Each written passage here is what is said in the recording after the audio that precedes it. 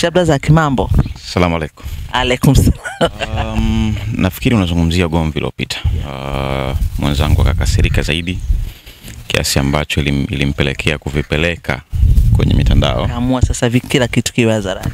Mi naongea hivyo kwa sababu ya kuficha tu baadhi ya vitu, lakini ugomvi ulikuwa ni una vitu vingi sana. Hivi navyoongea naye sasa nikoja nishaandika talaka tatu kabisa. Kutingisha kwa kiasi gani kama mwanamke?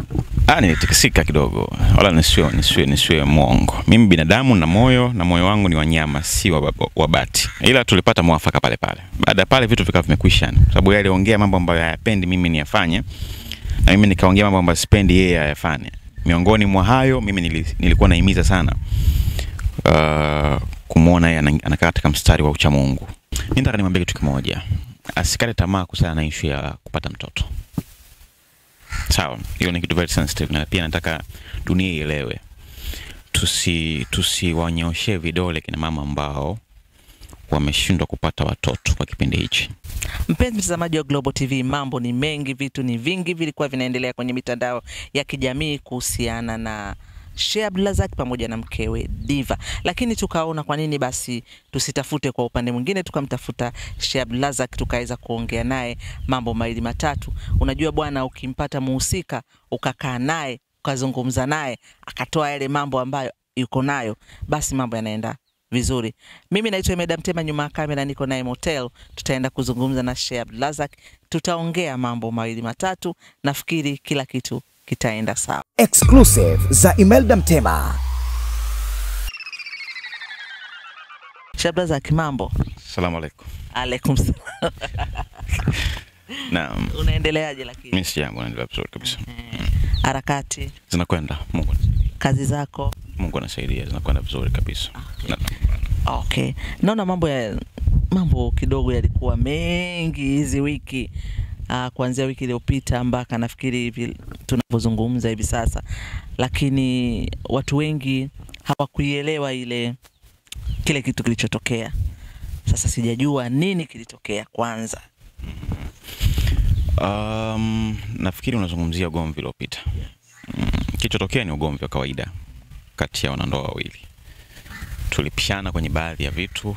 Uh, mwenzangu akakasirika zaidi kiasi ambacho ilim, ilimpelekea kuvipeleka kwenye mitandao, lakini baadaye nili, nilikaa naye chini tuka tukavisolve. Kwa hiyo kilichotokea ni ugomvi wa kawaida tu.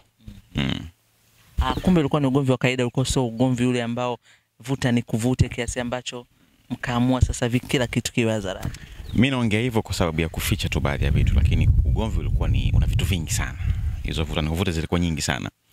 Sababu ni mwanaume na kifua, anajaribu ku, kusema hivyo ili kuto kuweka mambo mengi sana hadharani, lakini ugomvi ulihusisha vitu vingi sana, vingi vingi vingi mno. Yani ningesema ningenielezea hapa ni siku tatu nzima tutakaa tunaongea hapa, lakini to cut the story short, uh, tulipata tafrani ambayo ilitutingisha kidogo, na mimi ningekuwa sina kifua hivi ninapoongea naye sasa ningekuwa nishaandika talaka tatu. Kabisa? Ni kwa sababu nina, nina kifua naelewa jinsi ya kuhandle hivyo vitu ndio maana jambo limekwenda kelele zilikuwa nyingi baadaye zika zikatulia. Mm, bahati mbaya sana bibie ana hasira za karibu. Kwa vitu kama hivi vinavyotokea vinakuwa vina changamoto kubwa kwa sababu mwenzangu ana hasira za karibu yani.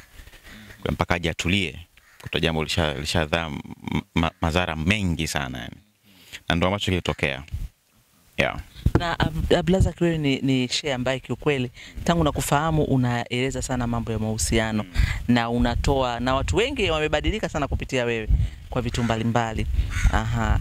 Kwenye hili wewe kama mtu ambaye kabisa unashauri ili kutingisha kwa kiasi gani kama mwanamke? Ah, nilitikisika kidogo, wala nisiwe nisiwe nisiwe mwongo. Mimi binadamu na moyo na moyo wangu ni wanyama, si wabati. wa. Unajua, mtu ambaye umemwoa akikwambia akikwambia niache ama tuachane, hali ya kuwa wewe haukujiandaa kumwacha, lazima ikusumbue psychologically mm. Sababu hukujipanga kuacha, ghafla umeambiwa ni niache, kwa lazima ile kutingisha.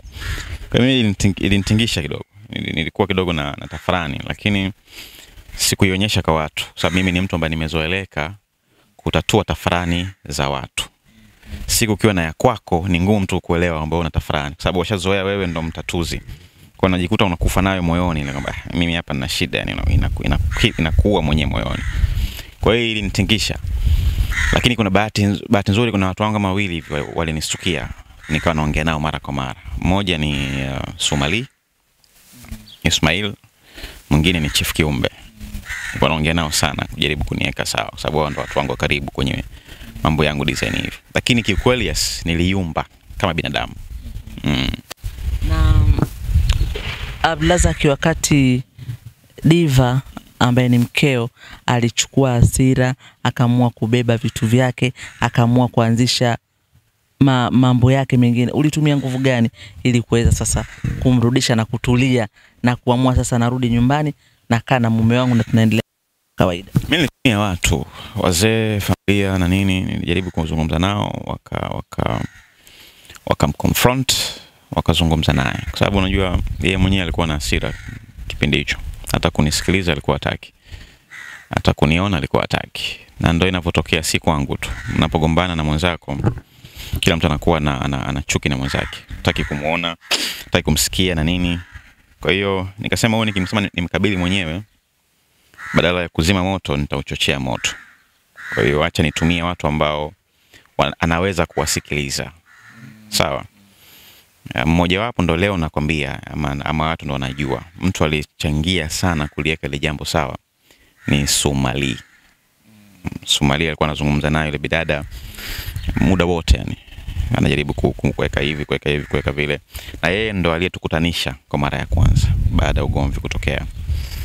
Kwa hiyo nilitumia hekima ya, ya kutumia wazazi na familia na ndugu na jamaa ambao tupo nao karibu waweze kuliweka sawa, na kweli wali, wali play part likaisha, Sumali pamoja na Chief Kiumbe. Yeah. Inaweza kuwa ni mwanamume wa tofauti. Kwa sababu gani? Uh, baada ya ugomvi na kama unavyosema Diva na hasira za karibu, aliamua kuondoa ku, ku, kuyaeleza yale ya moyoni zaidi, mengi mengi mengi, na ingekuwa ni mwanamume mwingine angeweza kusema labda hivi na hivi na hivi. Wewe kwa nini ulipata ujasiri mkubwa na ukaona kwamba bado nina haja ya kumtafuta mke wangu na tukae pamoja? Kwanza mimi alinisema sana, nilitukanwa sana, yani vitu vilikuwa vingi sana, mwongo, tapeli, mpigaji, yani vitu vingi sana viliongelewa, lakini kwa sababu sina hizo character, ndio maana nilikaa kimya. Umeona?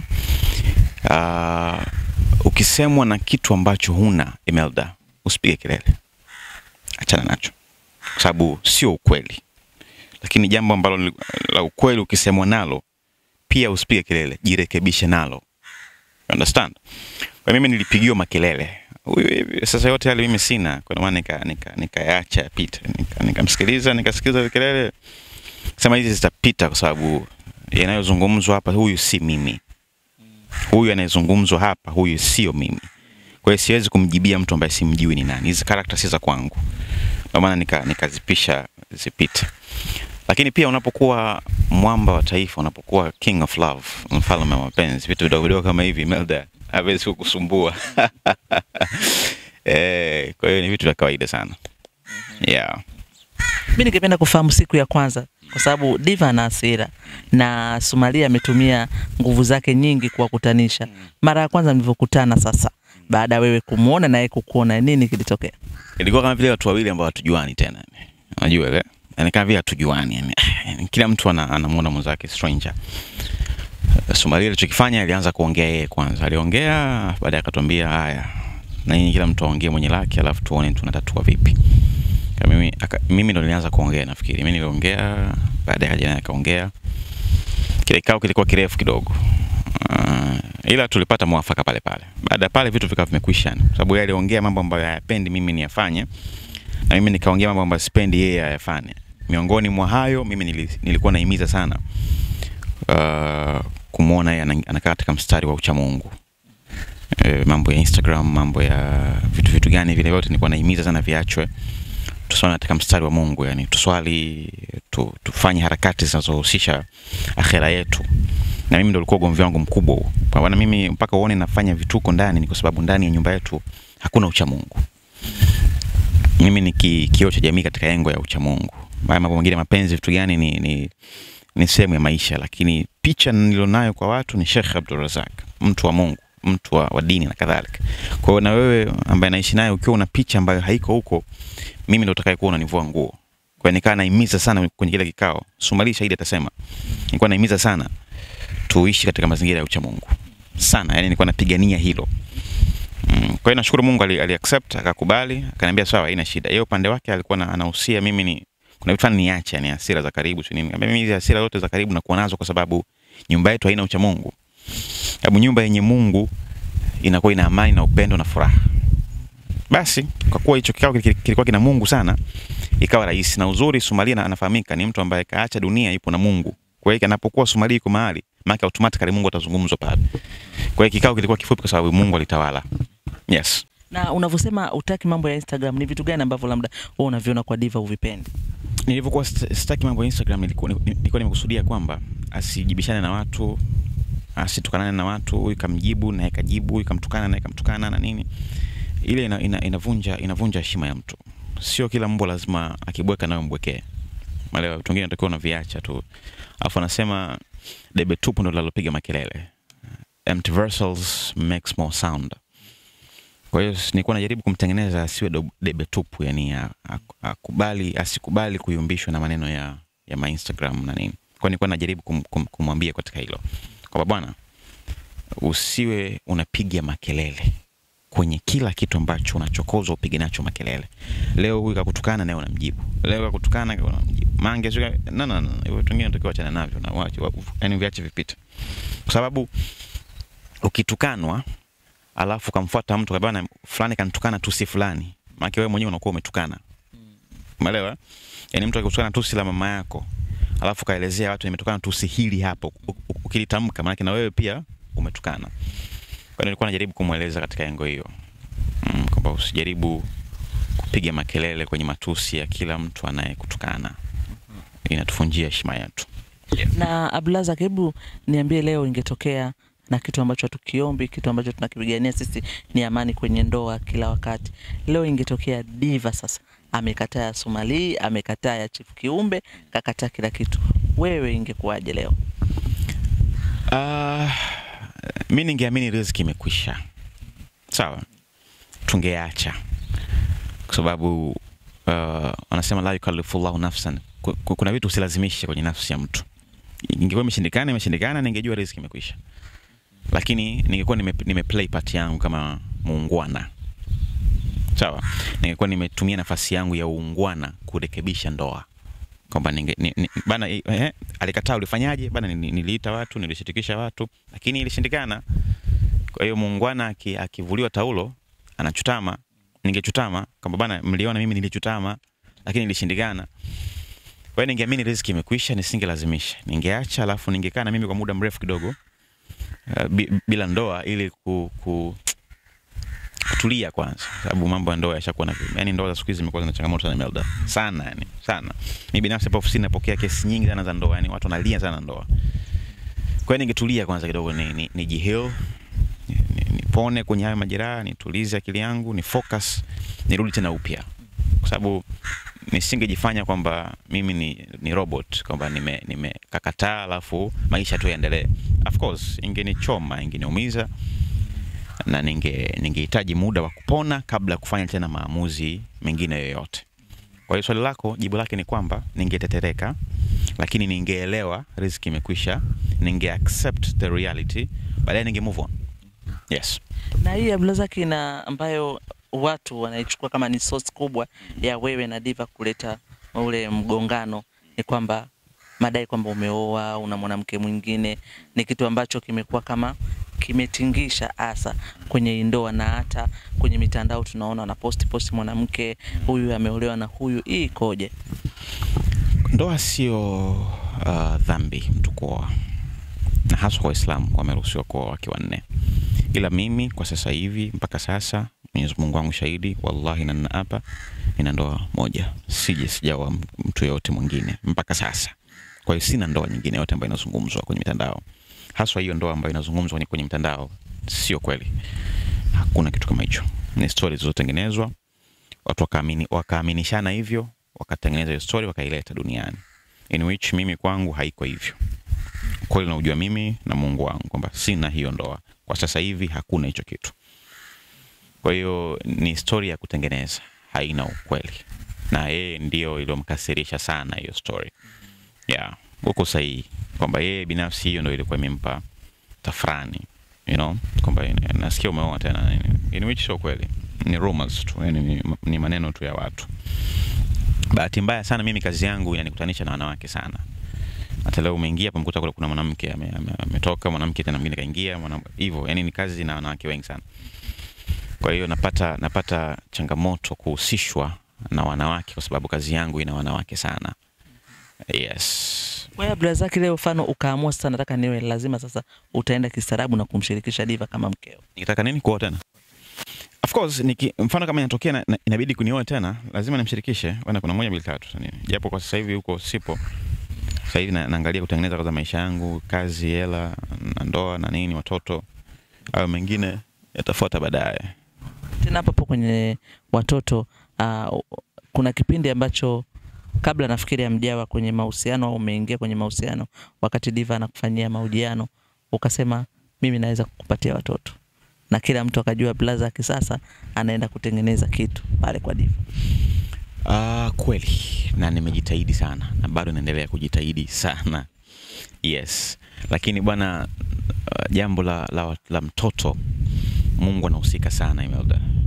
Yes yani mungu mungu ana nafasi yake kubwa sana kwa hiyo tunafanya tunajitahidi kama binadamu lakini mwisho wa siku tunamwachia mungu naye aplay, aplay nafasi yake. Ila mimi bado naendelea kupambana naendelea kujitahidi. Tu, tuombe kheri. Na unatamani sana uzalishaji? Diva.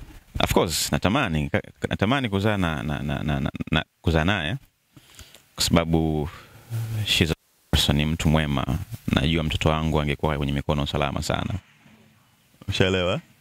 Yeah kwa hiyo ni vitu vya namna hiyo na hapo unapotaka kuzungumzia kwanza ni mtu mwema. Unajua kuna wakati mwingine watu wanaweza kumuona Diva kwa vile wanavyomuona labda kwenye mitandao na wasimuelewe. Sasa hapo unavyoongea kwamba ni mtu mwema, angetaka ufafanue kidogo. ana moyo mzuri ni, ni, ni, ni mama bora sana anapenda watoto alafu anapenda kulea yani anapenda kulea mtoto sababu kuna kipindi nishai nishai- na, na mtoto wa wa ndugu yangu fulani hivi nilikuwa namuona vile anavyo anavyo anavyo anavyojitahidi kum, kumlea na nini. Kwa hiyo moyo wake ule mzuri na mapenzi yake naamini yangewafaa sana mtoto wangu. Yani mtoto wangu ambaye angetoka kwake angepata mama bora sana. Uh, kwa sababu ya aina ya moyo aliokuwa nao. Si kama wengine hawana lakini pia huo huo moyo mzuri hata yeye pia nimeona yuko nao. Kwa hiyo ningetamani mtoto wangu yote kupitia kwenye tumbo lake ili kupata aina mapenzi ambayo yeye anayo yes Abdulrazak, tuko tunaelekea kumalizana, nitamani maneno fulani mazuri uh, umwambie Diva. Inawezekana mmerudiana na inawezekana mapenzi ndio yameanza upya kama kama ambavyo mlikuwa mmeanza mwanzo, sababu sasa penye ugovi pakaja ya maelewano, mambo yanakuwa mazuri zaidi. Natamani uzungumze naye, yani umwambie, yani jinsi gani yeye kwanza kwanza alivyo na thamani kwako na kila kitu. Mimi nataka nimwambie kitu kimoja. Asikate tamaa kuhusiana na ishu ya kupata mtoto. Sawa hiyo ni kitu very sensitive na pia nataka dunia ielewe. Tusi tusiwanyoshee vidole kina mama ambao wameshindwa kupata watoto kwa kipindi hichi. Kwa sababu labda tu ya mionekano yao ama wakawatafsiri waka- vinginevyo na kadhalika kwamba labda walikuwa wanatoa mimba kwa mwanzo na nini ikiwemo mfano mfano mfano hai kama Wema Sepetu mi sipendagi vile watu wanavyo- wanavyo- wanavyomwongelea kwa stizai kwa sababu apate mtoto na kadhalika na kadhalika. Sio kitu kizuri. Mtoto ni, ni baraka na mtoto ni majaliwa. Sio kwamba unakwenda kununua gengeni unaweka tumboni tayari unazaa. Hapana. Kwa hii ni, ni, niongee kwa ujumla kwa wanawake wote ambao wanapitia changamoto kuambia kwamba wasikate tamaa. Miujiza ya mungu bado ipo. Anything can happen. Muda wote ule. Yes waendelee kufanya yale ambayo yanapaswa wao kuyafanya ili kupata huyo mtoto. Ikiwemo kuolewa lakini pia kufanya lile, lile tendo la ndoa kwa mapenzi. Yani lifanya lile tendo ukiwa unamfurahia una, una, una, una mwenzako. Matunda yale mapenzi ndo yanaletaga results ya mtoto. Kulikuwa ni kufanya mapenzi ukiwa umeweka akili kwamba nataka mtoto nataka mtoto nataka mtoto. Itakuwa ngumu kwa mtoto sababu mishipa ile inakuwa imekaa ni kupokea mtoto sio kuenjoy ile tendo tukiwa enjoy tendo afu ile tendo ndo lizae matunda ya mtoto kwa hiyo nimwambie tu yeye, lakini pia na wengine wote duniani in general, tusikate tamaa kwenye kutafuta hiyo baraka ya mtoto. Mungu anajibu, na ikibidi kabisa watarudi chini, pia goti, tuombe. Mungu yupo na anajibu Kwa hiyo kwamba unamwambia tu asijali, suni atapata. kwa uwezo wa Mungu, insha Allah atapata wa kwake. Yes. Abdulrazak, kuna swali fulani kitamuuliza. Unajua hata katika wakiwa wanaona kwenye mitandao utasema zake ni, ni mkaka anapiga. Labda wewe kwenye zile clip zako unapenda kueleza mwanamke apigwi, atapigwa kwa hela, lakini nataka kujua kuhusiana wewe, inasemekana una mkono sana wa kupiga, ili vipi? Sio kweli. yeah, sio kweli, sio kweli. Mimi sio sio mpigaji. Mwanamke ana namna anapigwa, Imelda, basi siwezi kuiongea hapa, lakini mwanamke wa namna anapigwa, yani ukimpiga vizuri mapigo yake, basi unamkuta mwanamke, mvua imenyesha, kaloana, analia machozi. Ile ndo namna mimi naweza kumpiga naye mwanamke. Kinyume na hapo, imebidi basi nimempiga, basi nampiga kwa, kwa upande wa kanga, na tumefundishwa hivyo. Uh, au sometimes unakuta labda mwanamke mwenyewe ana hasira zake, mmegombana, anataka kukutupia kikombe, anataka kukutupia kitu akudhuru kwenye kujihami. Labda unajua na mwanamke labda umejihami, umemgusa labda na, na, na mkono ndo kapigwa yani. Hasa kutana na wanawake zetu ambao wanadekadeka, wana uzungu mwingi, basi ndo kapigwa hapo. Unaona? eh? In which kumbe wewe ulikuwa unafanya self defense, sababu yeye kashika chombo ataka kukurushia kupiga nacho. Mimi kupigwa na ilikuwa ni nini ile siku ile ilikuwa uh, ni kama libakuli hivi la kuwekea la kuwekea maurembo urembo nilipigwa nalo kwenye mguu hapa sitaki kusema na nani lakini nilipigwa nalo kwenye mguu. Unaona eh? mimi sasa sasa kusema mimi nimepigwa. You understand? Ah, nikaenda nikajikanda kanda nikajiweka sawa nikameza painkillers.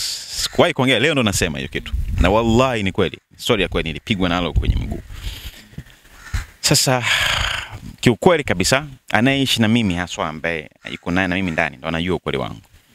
Na akiamua kuwa mkweli mtu atasema ukweli kwamba je nilimpiga mtu ama nilikuwa nafanya self defense najitetea na vitu vya hivyo kwa hiyo truth be told mimi sio mpigaji melda mm.